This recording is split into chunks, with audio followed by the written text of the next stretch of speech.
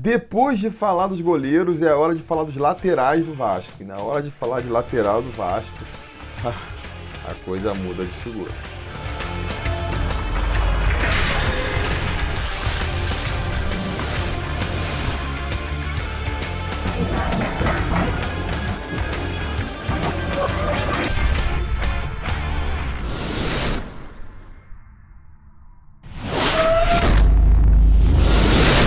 Fala, torcida vascaína, Felipe Tirro de volta na área e vamos começar a fazer a segunda parte aí desse balanço do elenco vascaíno de 2018, falar dos laterais do Vasco, sem enrolação, porque se com os goleiros, que foram só quatro, a gente já levou aí mais de 20 minutos, né? Se eu não correr aqui, essa parte sobre os laterais vai ficar maior do que um filme do Senhor dos Anéis. Então vamos começar falando dos laterais direitos do Vasco, os jogadores que em 2018 é, eh, atuaram por ali, não é mesmo? É, vamos começar falando do Rafael França. Rafael França, menino da base, fez só uma partida pelo Vasco, atuou só 26 minutos naquela partida contra. Agora não lembro se foi contra a Cabo Friense ou contra a Portuguesa da Ilha. Lembra aquele jogo que teve no começo do ano, quando a gente teria uma partida da Libertadores alguns dias depois? E aí o Zé Ricardo escalou o time inteiro reserva, botou uma molecada da base. Nessa partida, o Rafael França teve uma chance de atuar ali pela lateral direita. Obviamente, eu não me lembro do futebol dele, não chegou a marcar nada de especial, mas para quem pergunta e sempre estão me perguntando, pô, não tem alguém da base que o Vasco poderia aproveitar na lateral direita? Tem aí o Rafael França, né? Teve uma oportunidade só, praticamente não teve chances em 2018. Quem sabe em 2019 não aparecem mais oportunidades para ele. O contrato dele está acabando agora, acaba no final do ano. Tem que ver se a diretoria vai querer renovar com o garoto, né? a princípio eu não vejo por que é, não renovar. O pessoal que acompanha mais a base aí fala bem dele, né? Dispensá-lo sem nem dar uma chance verdadeira para ele não faria sentido. Eu tentaria renovar e aproveitar esse primeiro semestre aí, onde a gente não vai estar jogando nenhuma competição importante, só mesmo carioca, aquelas primeiras fases de Copa do Brasil, aproveitaria para dar oportunidade para esse garoto. Quem sabe ele não se mostra como mais uma opção na lateral direita, porque esse ano a gente sofreu demais. A gente sofreu demais. Vamos passar agora, por exemplo, para um dos motivos desse sofrimento, o Rafael Galhardo. Rafael Galhardo que veio para suprir a ausência do Madison, né, vendido para o Grêmio, e que na época até me surpreendeu, porque quando o Rafael Galhardo veio, já estava naquela fase. Você lembra aquele momento que teve no começo do ano,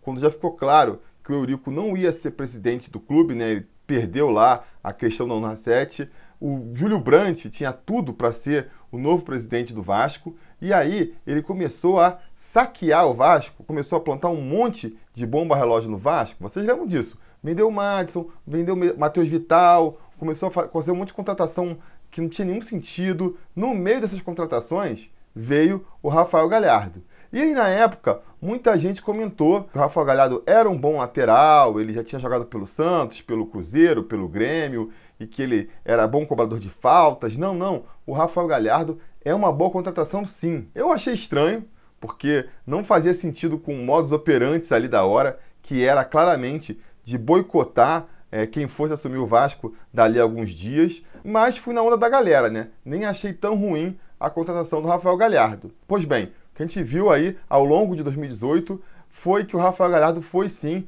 mais uma bomba deixada aí pela administração anterior, não é verdade? Ele é um dos jogadores aí que esse ano é, juntaram duas características muito fortes nesse elenco vascaíno. A primeira é quase não atuar por conta de lesões. E a segunda é, nas poucas vezes em que atuou, jogar muito abaixo do nível, jogar muito abaixo do que se espera de um jogador que está vestindo a camisa vascaína. Como tragédia pouca é bobagem, o contrato dele com o Vasco é de três anos, então é difícil de conseguir passar ele para frente agora. E aí vai restar a gente torcer, né? Para ver se, sei lá, ah, com o passar do tempo aí ele recupera a forma e volta a ser o jogador que dizem que ele já foi. Não acompanhei muito a carreira do Rafael Galhardo, mas se já jogou em Santos, já jogou em Grêmio, deve ter jogado uma bolinha um pouquinho melhor do que apresentou no Vasco esse ano, não é mesmo? Puxando aí a, as estatísticas dele, e aí é que eu tenho que agradecer o Daniel Souza e outros vascaínos que me indicaram o site O Gol, onde eu consegui números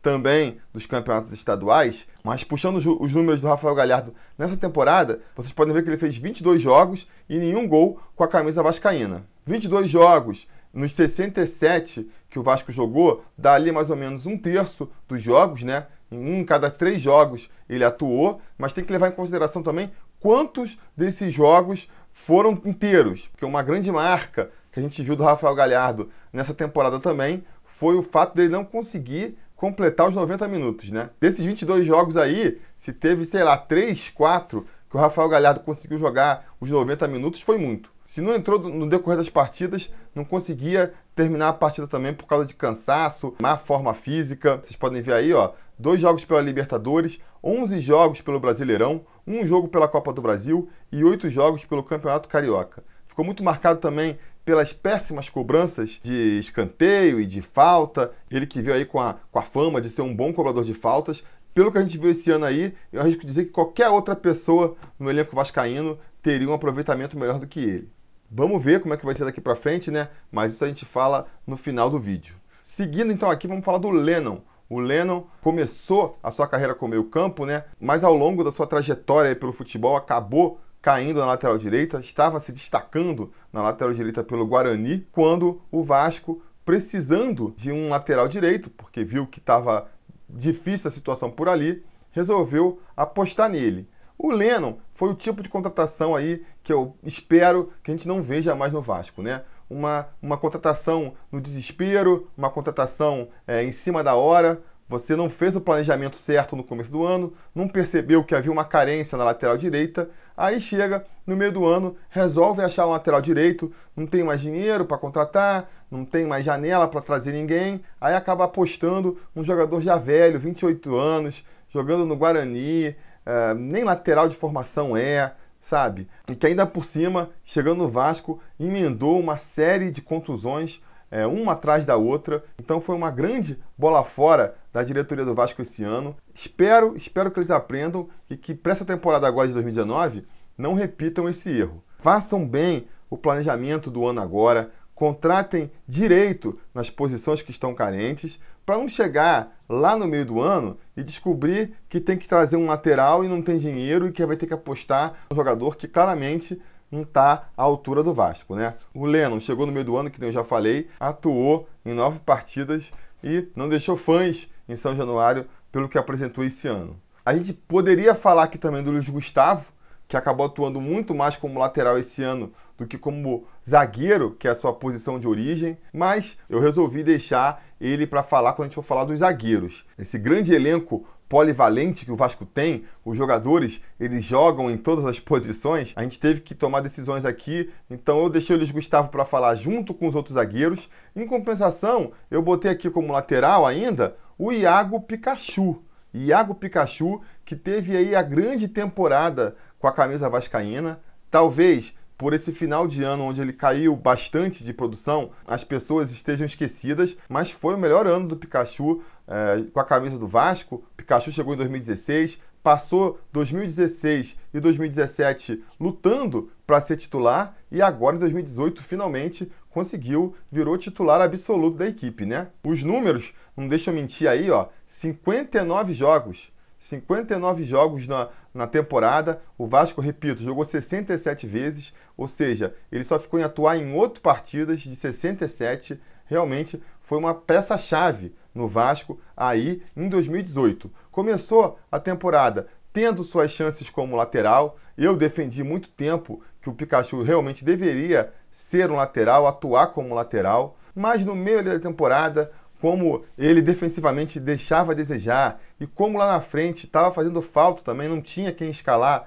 para jogar ali como um atacante, um ponta mais aberto, o Pikachu acabou sendo novamente colocado na frente, colocado no ataque e se saiu muito bem, repito, teve os seus melhores momentos no Vasco, jogando ali na frente. Eu acho que agora fica difícil de esperar que ele volte a jogar como lateral, né? Se consolidou como um atacante ali, como um ponta, eu acho difícil dele voltar a ser lateral. Atuou, ó, só para falar os números dele aí, ó, jogou um jogo da Sul-Americana, 10 jogos pela Libertadores, 35 jogos pelo Brasileirão, 38 rodadas ele jogou em 35, dois jogos da Copa do Brasil, 11 do Campeonato Carioca, fez 19 gols, artilheiro da, do Vasco na temporada. Realmente uma temporada excelente do Pikachu aí, que repito, talvez tenha ficado um pouco nublada, né? Um pouco ofuscada por essa reta final aí de, de campeonato, esse último dois meses aí do, do Pikachu no ano, realmente ele ficou bem abaixo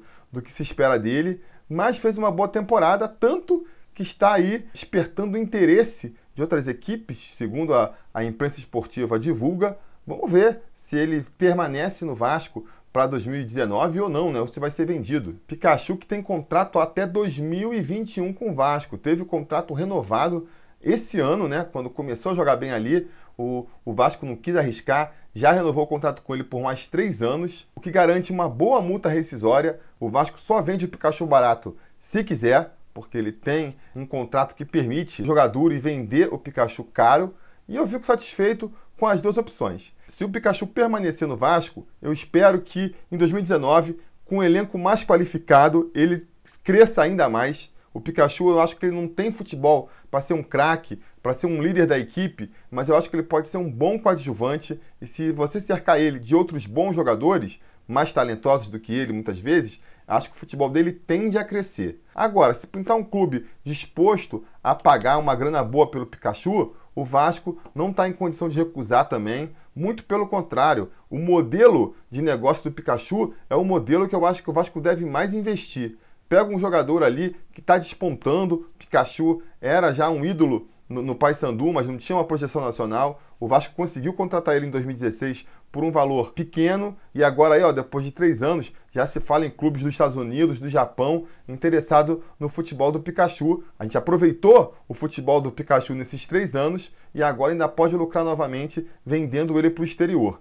Esse é o modelo que eu acho que o Vasco deveria procurar na hora de contratar jogadores e não ficar apostando em jogador já velho, que além de a gente não saber se vai dar certo no Vasco, mesmo que dê, não tem como gerar esse lucro extra quando ele sair. Vamos falar então da lateral esquerda do Vasco, a gente vai ver umas situações parecidas com essa, né? Antes, vamos tirar da frente, vamos falar logo do Alan Cardoso, que também fez uma partidinha só pelo Vasco esse ano, no mesmo jogo, se eu não me engano, lá contra a Portuguesa da Ilha, né? O jogo onde a molecada da base teve a chance de jogar com a camisa do Vasco, porque os titulares estavam sendo poupados para pré-Libertadores, mas pouco depois o Alan Cardoso foi emprestado para o ABC. Alan Cardoso, que apareceu com muito destaque em 2016, o Jorginho foi quem deu as primeiras oportunidades para ele no time principal. Tem até curiosidade de que ele foi formado, né, lá no começo da carreira dele, numa escolinha do Jorginho, então não sei se isso influenciou ou não, mas teve algumas chances com o com o Jorginho. Muita gente considerava que ele poderia até passar à frente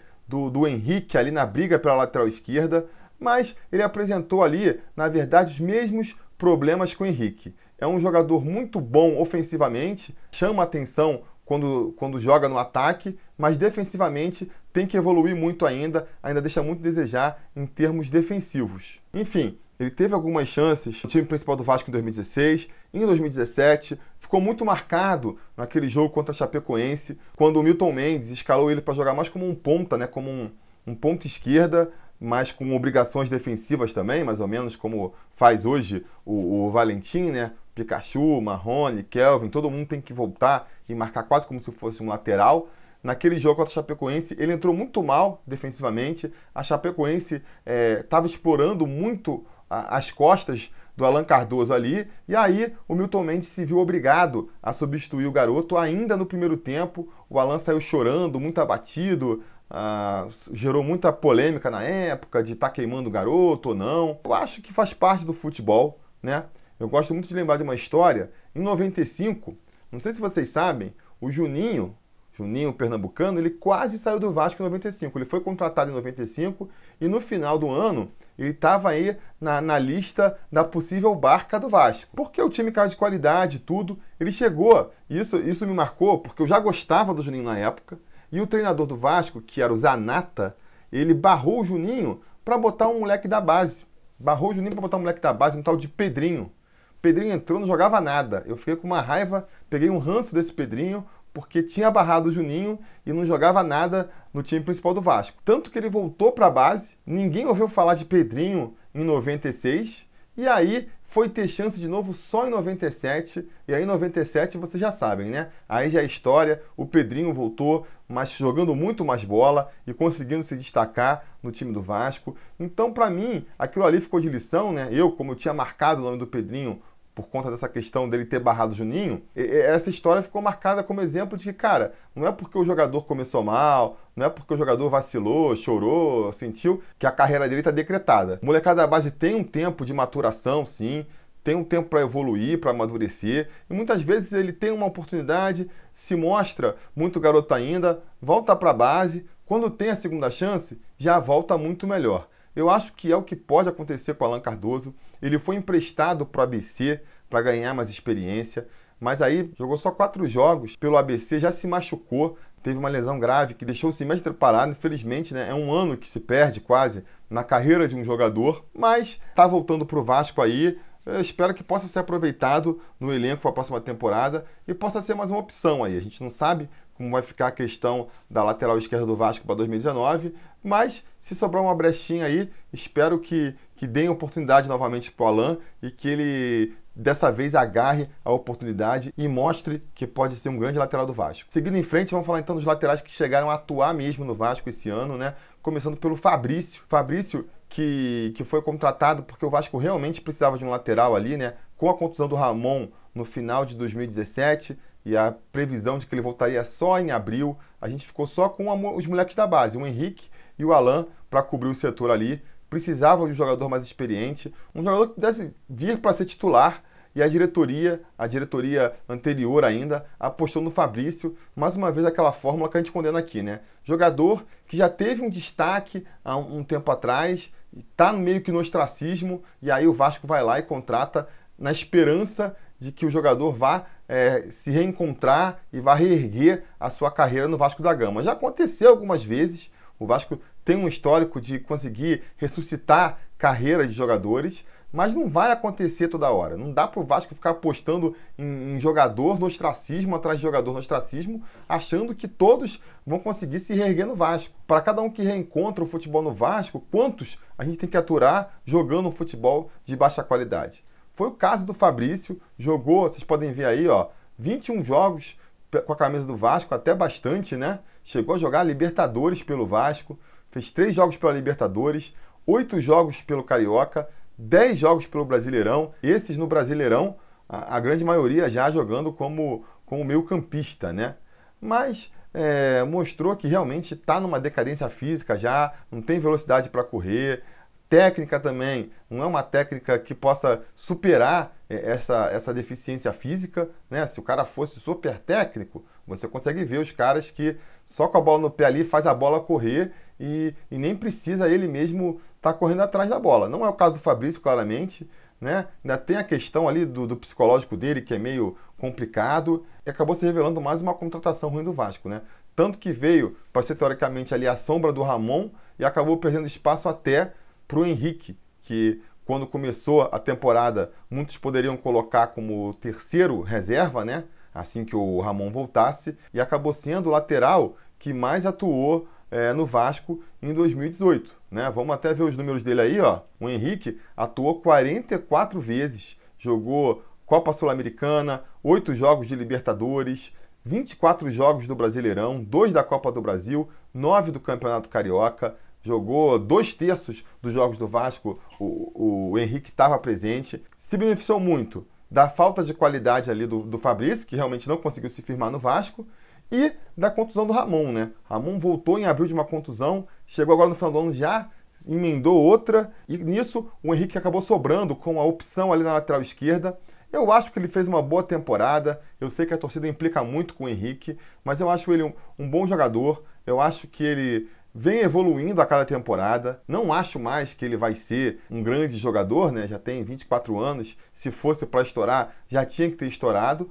Mas eu acho sim que ele pode ser um bom jogador para compor o elenco. Quando ele precisa entrar, acho que ele não deixa a peteca cair é difícil bancar, ah, vamos, deixa o Henrique, não contrata ninguém, o Henrique vai ser lateral esquerdo. Eu acho isso um pouco ousado. Mas contar com ele na equipe aí para formar o elenco, para ajudar a formar o elenco vascaíno, eu acho uma boa sim. Ele tem contrato até agosto de 2020, Então, quer dizer, mais uma temporada e meia pela frente aí, não vejo por que emprestar ou se desfazer dele, né? Deixa ele no elenco vascaíno aí, deixa ele compondo o elenco, que acho que ele é um bom jogador de grupo. E finalmente, falar do Ramon. Ramon que voltou para o Vasco em 2017. Eu, na época, impliquei, não queria a volta dele, né? Tinha bronca dele, não gostava do futebol dele quando ele saiu, não gostei das declarações que ele deu, mas ele realmente calou a minha boca, fez uma grande temporada em 2017, justificou a renovação de contrato dele na época por mais três anos. Mas aí, no final da temporada, veio a contusão no joelho, que tirou ele seis meses do gramado. Foi voltar só quase no meio do ano agora de 2018. Quando voltou esse ano, não voltou na, na, mesma forma, na mesma excelência técnica que ele apresentou no ano passado, né? Tava ali lutando, ele mesmo argumentou que, poxa, foi difícil voltar no meio da temporada, muitos jogos. Ano que vem com a pré-temporada, eu podendo me preparar fisicamente melhor, com certeza vai ser um ano mais positivo. E aí no final do ano, aí nas últimas partidas do campeonato, ele se machuca de novo, se machuca agora no outro joelho, vai ter que passar por mais uma operação complicada, mais sete meses fora do gramado, e aí a gente volta à mesma situação do começo do ano passado, né? Vai precisar contratar alguém. Acho que até a situação pior, né? Porque se a gente tinha uma expectativa melhor da volta do Ramon esse ano, agora passando por uma segunda cirurgia, tendo que passar por uma segunda recuperação de sete meses. Ele um ano mais velho, ele não voltou bem esse ano, quer dizer, as perspectivas para o futebol do Ramon diminuem, né? Diminuem a cada, a cada dia. Espero que ele consiga voltar, espero que ele consiga voltar bem porque é muito triste ver um jogador encerrando carreira por causa de lesão, mas o Vasco não pode contar com isso, né? O Vasco não pode se agarrar a isso, o Vasco não pode ficar ali com um pensamento positivo, ah não, ele vai voltar, vai voltar bem. Vamos ter que pensar é, em um outro lateral esquerdo aí para a posição. Mas vamos então falar, reformulação aqui do grupo, como é que seria, como é que eu acho que o Vasco deveria agir no caso dos laterais. A molecada da base aí acho que tem que continuar, né? Renova aí o contrato com o Rafael França, renova o contrato com o Alan Cardoso também, né? Que vai ter um contrato acabando aí em maio do ano que vem. O Henrique tem contrato até 2020, então também não tem por que se livrar dele. Eu abriria a mão sim, tanto do Fabrício quanto do Lennon, que já estão com o contrato acabando aí, não tem por que buscar renovar, nenhum dos dois fez nada que justifique isso. Então manda o Lennon de volta para o Guarani, deixa o Fabrício cuidar da vida dele. O Rafael Galhardo, infelizmente, estamos presos num contrato de três anos com ele, né? Então, se pintar alguém querendo levar o Rafael Galhardo, eu vou agradecer, pode mandar, não paga nada, né? A gente paga até o frete, leva no aeroporto, como o pessoal gosta de falar. Mas se não aparecer, aí tem que contar com ele, deixa ele lá como mais uma opção no elenco. Quem sabe ele não se recupera, quem sabe o problema dele não foi uma questão mais física mesmo, que ele recuperando pode voltar a apresentar um bom futebol. A gente vai ter que se agarrar a isso, né? Ficar fazendo aquela coisa que o Vasco faz eventualmente de, de deixar o jogador treinando afastado para criar uma situação em que ele mesmo peça para sair. Raramente funciona, o jogador não pede se não tiver nenhuma oportunidade. E aí também não está o jogador no elenco lá, né? Então, aproveita mais uma vez aí o Carioca, esse começo de temporada, tem jogos menos importantes, dá umas chances pro cara, ver se ele realmente consegue recuperar o, o futebol, né? mostrar um futebol é, decente.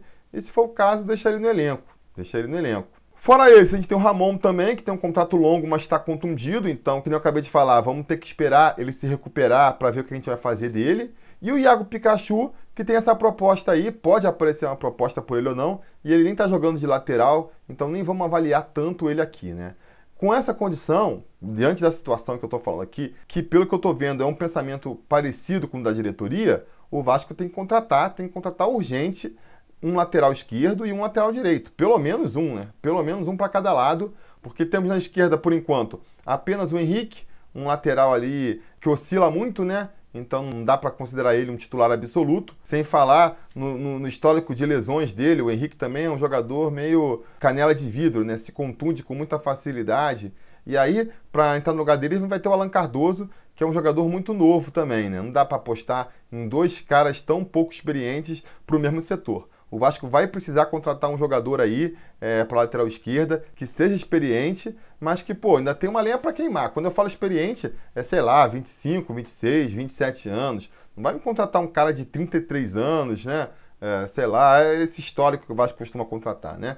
Eu apostaria no nome de preferência, que nem já falei aqui, ainda sem muito holofote em cima, alguém que possa se destacar no Vasco e, e, daqui a uns anos, quem sabe, o Vasco até conseguir mais uma grana em cima de uma venda deles. Mesma coisa para lateral direito. A lateral direito é até pior, porque a gente não tem ninguém para escalar. Rafael Galhardo, não dá para contar mesmo com ele. O Leno a gente vai mandar embora. O Pikachu, ele já está jogando como atacante. E o Luiz Gustavo, que virou meio que o titular da posição em 2018, ele é zagueiro, né? Ele quebrou um galho ali, quebrou lindamente. Mas, cara, não tem um cacoete para ser lateral. Não dá para achar que ele vai ser o lateral titular. Para mim, não pode ser nenhum reserva.